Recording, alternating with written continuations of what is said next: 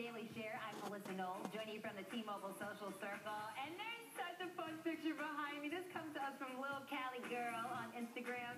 Look at that puff face with the wig on. Something tells me that little cutie is not happy about that orange wig. But hey, Halloween's right around the corner. We love to play dress up. Thank you so much for sending us that picture. Guys at home, send us your pictures on Twitter and at The Daily Share on Instagram using the hashtag The Daily Share. And we might be talking about your picture next.